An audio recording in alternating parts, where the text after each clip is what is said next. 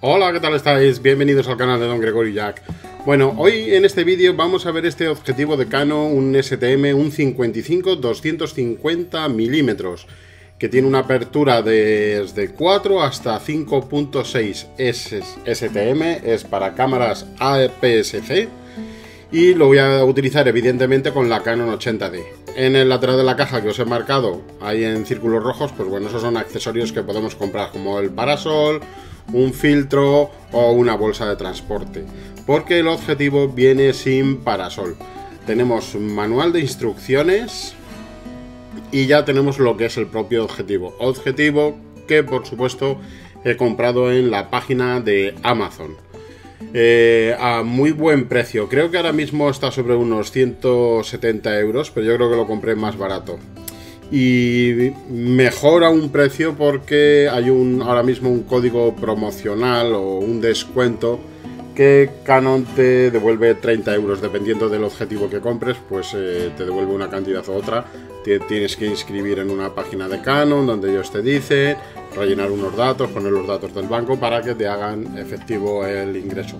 Tarda unos cuantos días así que no os puedo decir por supuesto, eh, tiene autoenfoque, enfoque manual y tiene estabilizador. Es un teleobjetivo mm, barato, ya veis que es de construcción de, plástico, lo que es la bayoneta, como veis, también es eh, donde lo ponemos en la cámara, también es de plástico.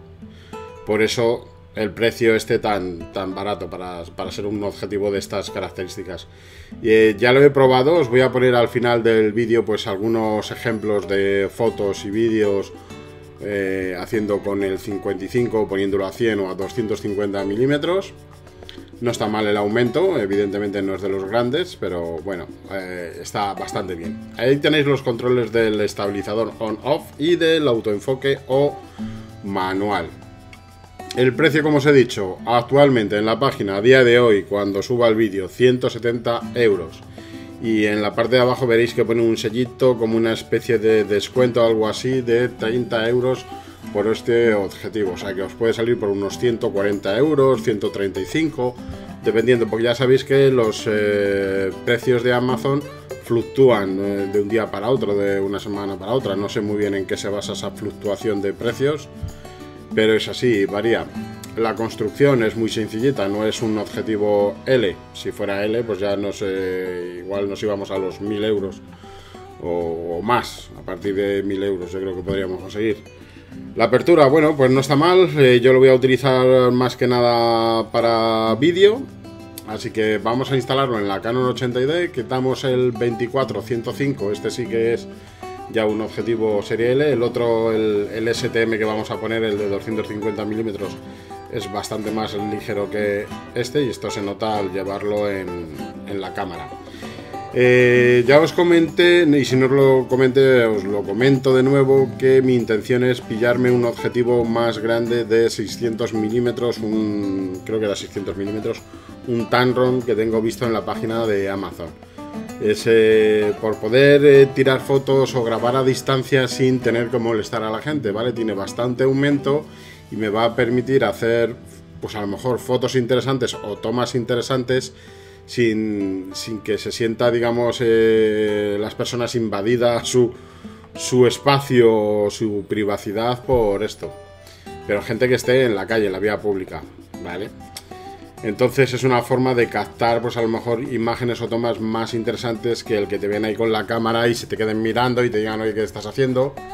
Pues que ya sabéis, hay gente que le puede molestar. Este es el parasol que compré aparte, que llegó 4 o 5 días antes que la cámara, uy, que la cámara, que el objetivo.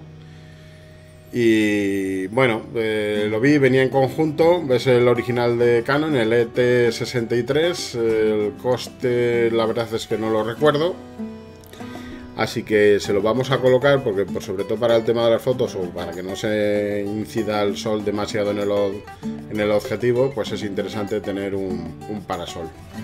Se hace un poco más grande, pero ya veis que el objetivo no es eh, especialmente voluminoso como podría serlo el 24-105 que le teníamos puesto.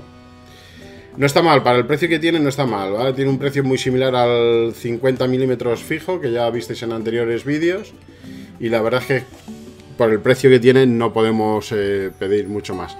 vosotros mismos pues eh, vais a ver unos ejemplos de fotos y vídeos al final de este vídeo y ya sacáis vuestras propias conclusiones a ver qué os parece el objetivo, si por ese precio merece la pena o no merece la pena. Así que yo me voy a despedir aquí de vosotros, os dejo con los ejemplos de fotos y vídeos y nos vemos en el próximo vídeo. ¡Chao!